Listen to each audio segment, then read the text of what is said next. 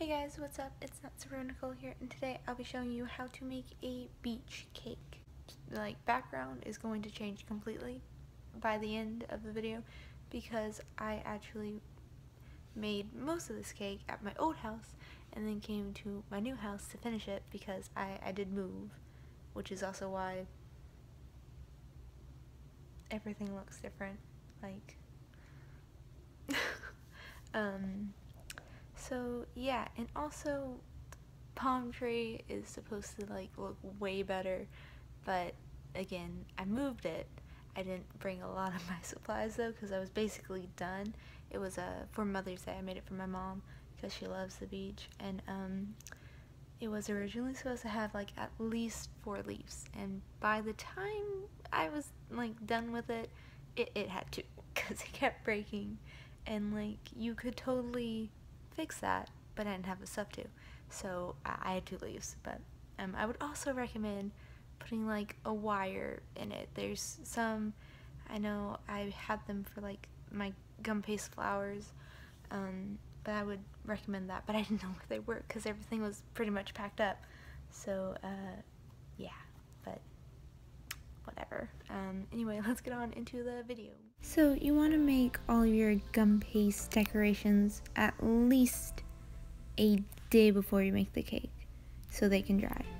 So the first thing I did was make the leaves for the palm tree and I started by dyeing the gum paste green and I'm just using a cake board because um,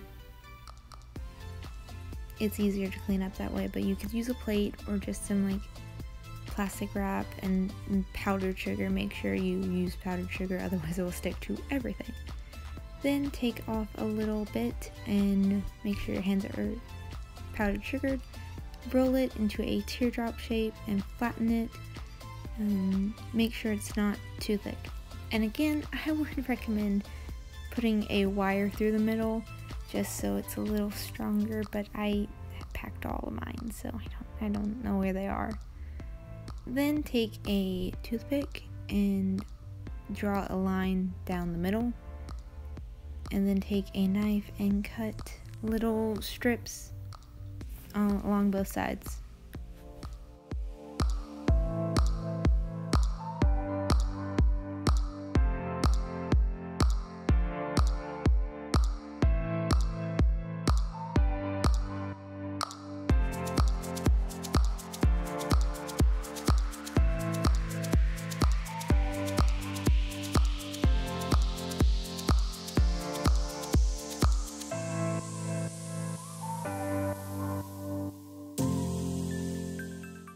them on a crinkled up napkin or paper towel to dry so that they are not completely straight and flat.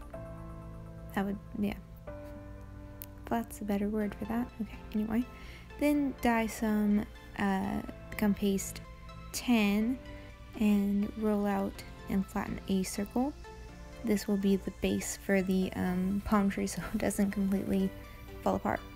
Then make a long like snake and then I put a straw in the middle of it um, because I packed up all my dowels as well but I would recommend a wooden dowel because wood is stronger than a straw then use some water to close up the seam and smooth it out best you can but it's not a super big deal because palm trees aren't completely smooth anyway.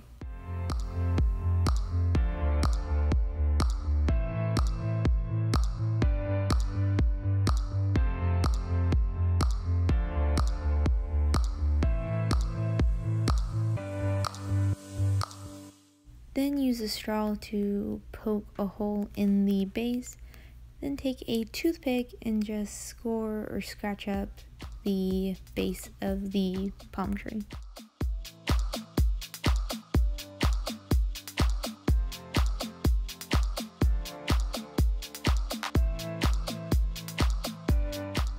We're just going to ignore what it looks like because it's a tree.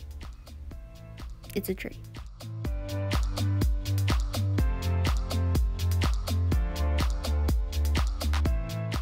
Take some lemon extract and green food dye and paint the leaves with it.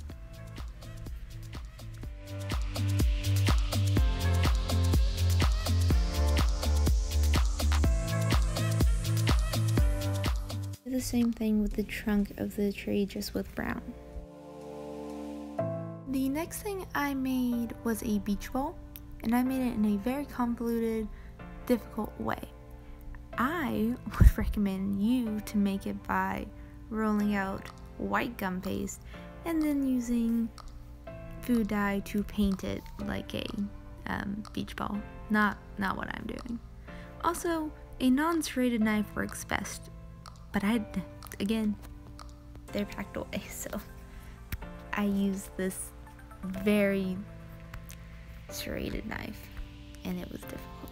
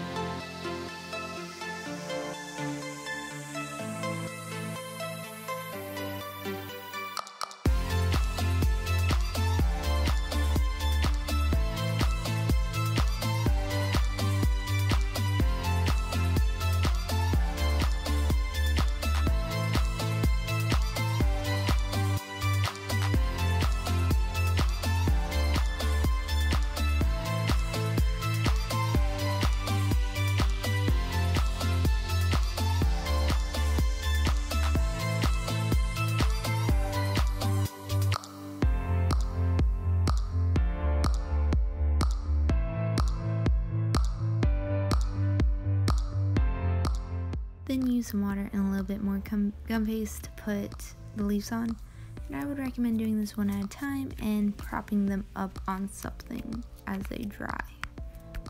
And if you had wires, you could like stick them into the trunk, which would probably make it stronger. Then just make the cake. I used a box cake because I'm lazy and it's red velvet because that's my mom's favorite. And I just left the mixing in because I thought it looked kind of cool, so.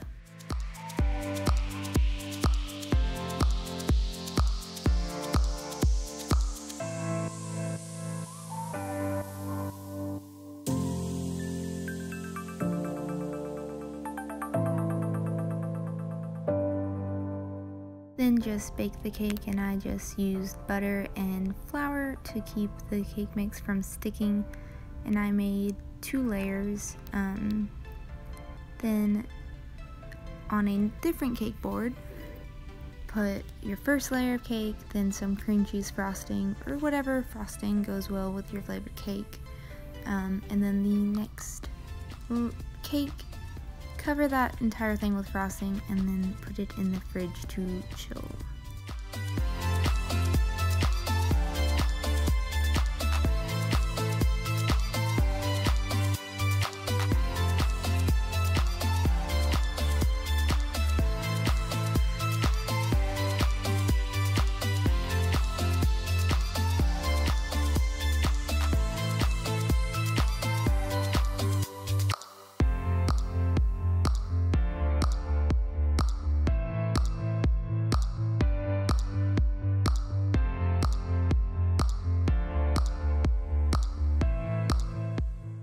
Then I dyed some more cream cheese frosting blue um, for the water and put that all around the cake as well.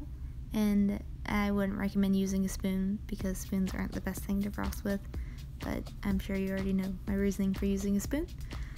And this icing does not have to be completely smooth because it's supposed to look like water anyway.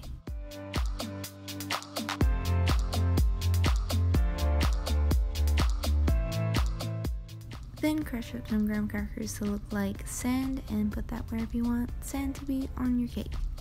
You could also just have no sand, but that's your choice.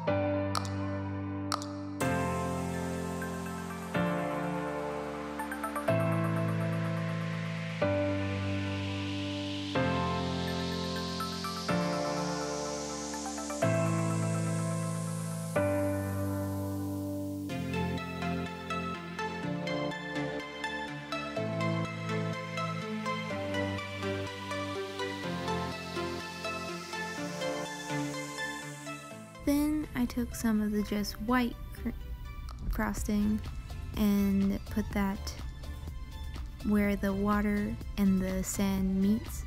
And yes, there's some sand in my water, but it's fine, okay? I picked it out later. Um, and then you can kind of blend it together so it's not so funny looking. And you can also put strips of white in the blue, and I would recommend taking a toothpick for this. I didn't have any toothpicks at this house, so I had to do that when I got to the other one, and just kind of make it look wavy because it's water.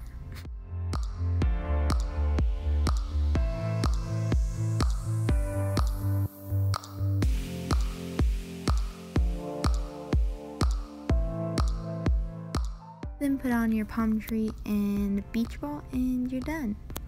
Hopefully your uh, palm tree doesn't look as sad as mine.